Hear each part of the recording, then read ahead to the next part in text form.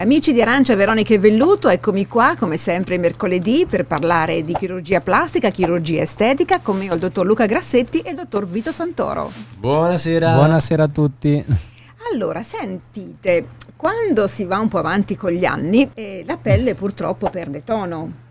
Purtroppo sì. E che si tono. può fare? Possono essere applicati diversi trattamenti. Eh, sorvolo sulla parte di prevenzione dell'aging, quindi di prevenzione eh. con la nutrizione, l'idratazione e la cosmesi, che è un argomento di cui magari possiamo parlare in un'altra puntata. Sostanzialmente si dividono in due grandi categorie. Trattamenti iniettivi, quindi con sostanze che vanno a stimolare la produzione di acido ialuronico, di collagene, di sostanze che sono state perse dalla pelle mm-hmm. e che quindi determinano quell'increspamento trattamento della pelle eh, sugli strati più profondi e si dividono in categorie di prodotti più eh, leggeri, quindi adatti anche all'assità eh, più lievi e prodotti invece un pochino più densi che vanno a ristrutturare, proprio dei bioristrutturanti. Ecco, noi parliamo di lassità delle braccia, interno cosce, esatto, dell'addome, la pancia, della pancia, certo. certo. Quindi eh, la prima valutazione serve per determinare se può essere efficace o meno un trattamento conservativo oppure se c'è bisogno del chirurgo, quindi di Luca. Beh, quando la pelle è eccedente, eccedente ovviamente non è che la puntura riesce a farla retrarre, a un certo punto